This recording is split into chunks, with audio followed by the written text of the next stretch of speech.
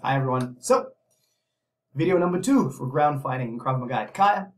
Um, let's add some stuff about use of force and some other considerations for ground fighting. So, um, one of the statistics that often comes up when people talk about self-defense and ground fighting is something like 90% of fights end up on the ground. That is actually not accurate. That statistic comes from specific research in the United States that related to uh, police officers who were required to take people to the ground in order to handcuff them. Okay, so that is not the case. That being said, we often see uh, real world violence and, and altercations happen in extreme close quarters, which quite often means that we'll end up in some form of grappling and may end up on the ground. So being able to grapple and being able to do that standing up and on the ground is incredibly important for our toolkit. Like we have to be able to do it.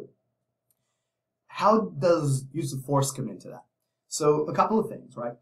Generally speaking, the force will look at, or the law rather, will look at somebody standing up and somebody on the ground as having different options. In other words, if, I, if I'm on the ground and somebody's standing in front of me and trying to hit me, right, they're using a higher level of force. And most of the time that means I have you know, I'm right, I'm right at an obligation to protect myself by matching that level of force. Um, where that might change is where the situation is reversed.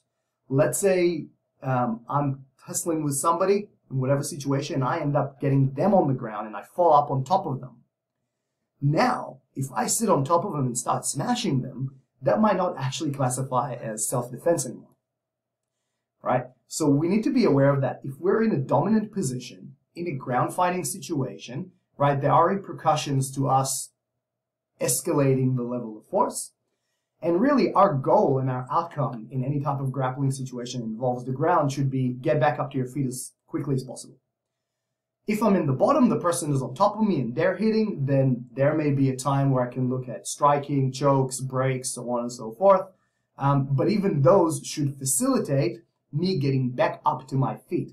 So if somebody is on top of me, right, and I am able to sweep them, right, what I need to be able to do is then get up and get away as safely as possible. That may not necessarily involve transitioning to a different position and then breaking both arms and then choking them out.